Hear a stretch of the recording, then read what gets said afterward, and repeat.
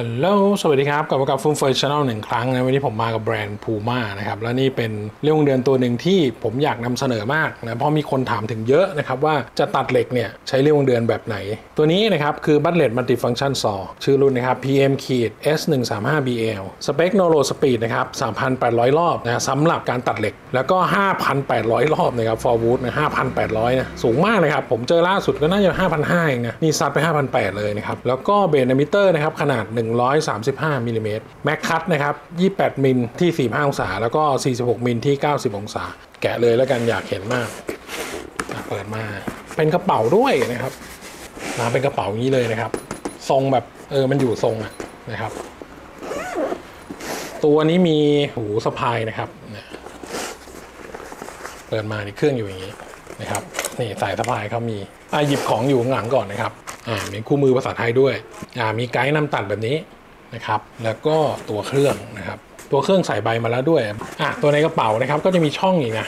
เนี่มีช่องใส่ของนะครับ ทั้งสองด้านเลยนะตัวนี้ก็มีช่องใส่ของอีกอะทีนี้มาดูที่ตัวเครื่องนะครับ หน้าตานี่น่ารักดีนะครับ คือผมชอบสีของปูม่านะผมพูดหลายรอบเลยเอ่อตัวนี้ใส่ใบมาให้เลยนะครับ ตัวใบที่ได้นะครับ รับความเร็วสูงสุดอยู่ที่ 11,300 รอบต่อนาทีนะครับนี่คือรับได้สูงสุดตัวนี้อยู่ที่ประมาณ 5,800 รอบสูงสุดงั้นสบายๆ ตัวนี้มีขนาด 30 ฟัน 30 ฟันใบขนาด 135 มิลหรือประมาณ5เซน1ส่วน3นิ้วนะแล้วดูตัวใบของเขานะครับ ตัดได้ทั้งไม้ทั้งเหล็กนะครับตัวนี้นะใบแถม เดี๋ยวต้องลองนะครับว่าจะเป็นยังไง ตัวกาดด้านบนนะครับเป็นโลหะ ตัวกาดด้านล่างนะครับเป็นพลาสติก พลิกมาด้านหน้านะครับ ด้านหน้าเป็นตัวปรับองศานะครับในการตัดแล้วก็ทำการบิดอย่างนี้ แล้วเราก็ขยับได้เห็นไหมครับ สูงสุดก็คือประมาณ 4 5 องศาอย่างนี้มีขีดบอกเห็นไหมมีขีดบอกเนี่ยปรับง่ายดีใช้ได้นะแล้วก็ตรงนี้จะเป็นที่สำหรับใส่ตัวไกด์น้ำตัดที่ให้ดูทีแรกเห็นไหมครับใส่เข้าไปตรงนี้ ต่อมาเรื่อยๆนะครับ ตรงนี้เป็นปุ่มสำหรับกดเพื่อล็อกใบนะเวลาเราเปลี่ยนใบ ตัวเพจนะครับเป็นโลหะเงาๆแบบนี้เลยนะครับ ด้านล่างจะเป็นผิวมันๆลื่นๆนะครับปั๊มตรงนี้เป็นร่องลึกลงไปเพื่อไม่ให้มันเสียดสีกับตัวพื้นมาก สวยดีนะครับ สวยดีนะแล้วก็ที่ด้านบนนี้ก็มีสเกลบอกหมดนะครับตรงไหนตัดศูนย์ตรงไหนตัด45นะครับแล้วก็ตัวนี้ด้วยความที่เป็นมอเตอร์ brushless นะครับตูดสั้นนิดเดียว พอตูดมันสั้นปุ๊บเนี่ยเวลาเราไปตัดชิ้นงานเนี่ยตูดมันจะไม่ค่อยไปโดนอะไรอื่นๆนะเพราะถ้าเกิดเป็นตูดยาวๆเนี่ยบางทีเรามี clamp มีอะไรพวกเนี้ยเนี่ยมันจะไปไปชนกับ clamp ตลอดนะถ้าตูดยาวๆแต่ตูดสั้นเนี่ยใช้งานง่ายดีอ่าพอหันมาด้านนี้นะครับก็จะเจอตัวที่จับใหญ่โตนะแล้วก็ตรงด้านข้างนี้นะครับก็จะมีที่เก็บตัวประแจถอดใบอ่านี่แบบนี้นะครับดึงยากนิดนึงใส่เข้าไปมันก็จะมีล็อกของมัน แล้วก็อันนี้คือปรับความสูงของใบนะครับอันนี้ปรับความสูงของใบ ตัวสวิตช์ต้องกด safety ก่อนนะ safety กดฝั่งไหนก็ได้นะครับซ้ายก็ได้ขวาก็ได้ ดันเข้าไปเฉยนะครับ แล้วก็กดสวิตช์ถ้าไม่ดันกดไม่ได้นะแข็งเลย แล้วก็ตัวนี้สำคัญตรงที่ว่ามันเป็นทั้งตัดไม้แล้วก็ตัดเหล็กได้นะครับ เพราะฉะนั้นตรงกลางนี้ก็จะมีตัวสวิตช์ระหว่างเบอร์หนึ่งกับเบอร์สองนะครับ ผมขออนุญาตใส่แบตนะนี่แบตผมเองนะแบต2แอมป์ปั๊บอ่าเนี่ยปุ่มเป็นอย่างเงี้ยเบอร์หนึ่งเบอร์สองเงี้ยลองเบอร์หนึ่งให้ดูนะครับ นี่เบอร์หนึ่งนะครับ สามพันแปดร้อยรอบนะครับสำหรับงานตัดเหล็ก แต่ถ้าเปลี่ยนเป็นเบอร์สองปุ๊บห้าพันแปดร้อยรอบ แล้วเบรกเลยเห็นไหมพอปล่อยนิ้วก็เบรกเกือบจะทันทีเลยนะครับ ทั้งเบอร์หนึ่งเบอร์สองเดี๋ยวลองไปลองกันดูนะครับไปอะโอเค อันนี้เป็นไม้ OSB นะครับ ขนาดประมาณ 12 มิล ตัวนี้มันเป็นขนาดประมาณ 5 นิ้วเท่านั้นเองเราใช้มือเดียวถือเนี่ยแบบสบายๆ ผมจะปรับไปที่เบอร์ 2 นะครับ ก็คือตัดไม้ เนี่ยเบอร์2 5,800รอบอะลองดูนะครับ มือเดียว1 2 3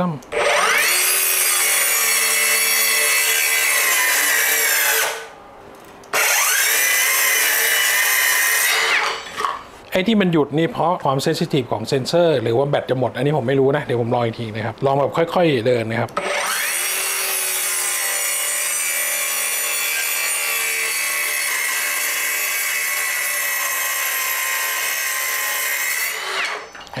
เซนเซอร์มันจะตัดนะเวลาผมดันแรงนะครับ เท่าที่สังเกตนะ แต่เนี่ยตัดไม้สบายนะครับ คมกริบเลย ตัดไม้แบบสบายๆเห็นไหมครับอะทีนี้ไม้อัดหนาดูบ้างนะครับ ลองดูซิว่าถ้าเกิดเอามาตัดไม้อัด 20 มิลอย่างเงี้ยมันจะเป็นยังไงนะครับ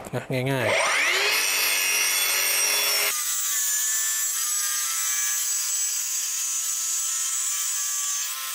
ตัดได้ ถ้าเราควบคุมนะครับแรงในการดันเครื่องเนี่ยมันก็สามารถตัดได้ อันนี้ต้องเข้าใจมันด้วยนะ อันนี้ต้องต้องบอกก่อน เพราะฉะนั้นตัดไม้เนี่ยผมว่าโอเคนะไม่มีปัญหานะครับอะผมมีตะปูอยู่นะครับเดี๋ยวผมจะต่อเข้าไปที่ไม้ตัวนี้เป็นไม้เนื้อแข็งนะครับแล้วเดี๋ยวผมจะตัดทั้งไม้ทั้งทั้งตะปูพร้อมกันไปเลยเห็นไหมครับตะปู 3 ตัว นะครับเดี๋ยวจะตัดผ่านนี้ไปเลยนะครับผมจะตัดโดยใช้เบอร์หนึ่งนะความเร็วอยู่ที่ 3,800 รอบต่อนาทีเนี่ยเป็นการเจอเหล็กครั้งแรกกับใบตัวนี้นะครับผมขอลองดูก่อน ก็มันจะตัดไปทั้งไม้ทั้งเหล็กเลยนะ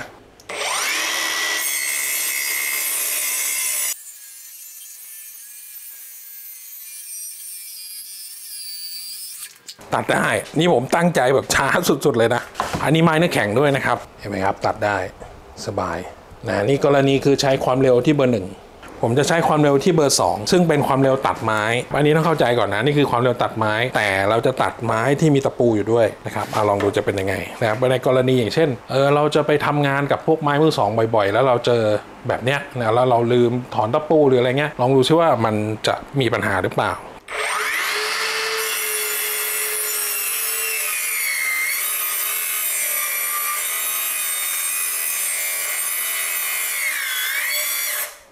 มีมีอาการติดนิดนึง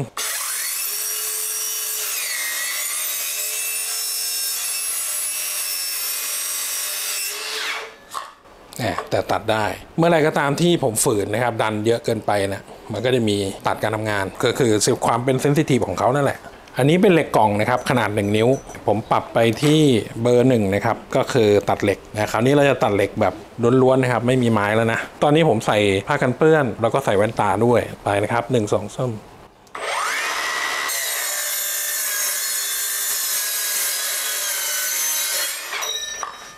เนี่ยง่ายเลย อันนี้แบบไหลๆเลยนะ กลายเป็นว่าตัดเหล็กเปล่าๆนะครับ ง่ายกว่าเหล็กกับไม้ปนกันนะอ่าลองดูอีกทีนะครับ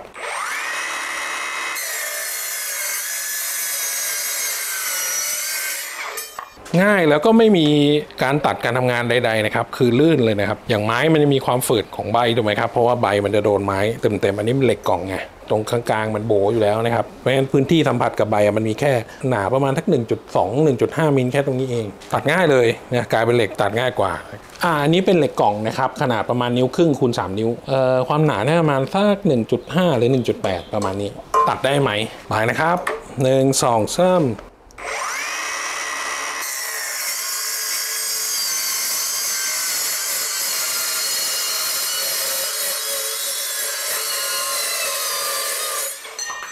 สบายครับ ลองดูอีกทีนะครับหนึ่งสองสาม